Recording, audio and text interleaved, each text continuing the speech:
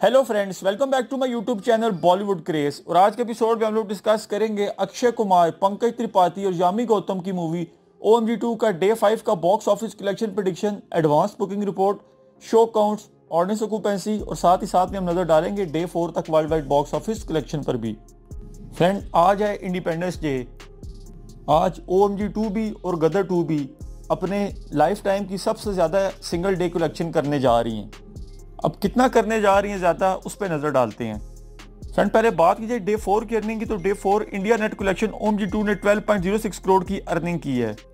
जिसके बाद four days के बाद इंडिया नेट कलेक्शन 55.17 करोड़ हो गया, जबकि वर्ल्ड वाइड ये कलेक्शन 75 करोड़ का आंकड़ा टच कर गया कैन यू इमेजिन कि एक मूवी का मंडे का अर्निंग फ्राइडे से ज़्यादा हो? लास्ट टाइम आई थिंक हमने सिर्फ़ एक बार ही देखा था और वो द केरला स्टोर की कलेक्शन में था।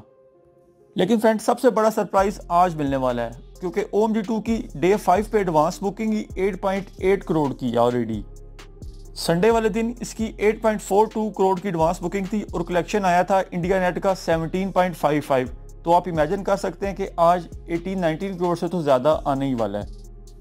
ओम जी टू को जो मैक्सिमम शोज़ मिले थे वीकेंड में, वो अभी तक शोज़ इसके पास ही हैं। मुंबई इसके पास 431 शोज़ दिल्ली एनसीआर 576 पुणे 177 बेंगलुरु 179 हैदराबाद 134 कोलकाता 131 अहमदाबाद 317 चेन्नई 40 जयपुर 100 भोपाल 56 जबकि लखनऊ में 119 शोज़ फ्रेंड डे फाइव की मॉर्निंग ऑक्यूपेंसी भी 46.78 परसेंट की आई है।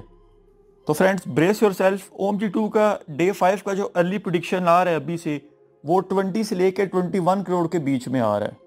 वैसे तो ओम जी टू का और गदर टू का जो भी बॉक्स ऑफ़िस कलेक्शन प्रिडिक्ट किया जाता है। फाइनल कलेक्शन उससे एटलीस्ट एक दो करोड़ ज़्यादा ही आता है। तो हम आज भी आशा करते हैं कि इसका फाइनल कलेक्शन एटलीस्ट बाईस करोड़ से ज़्यादा ही आ जाए।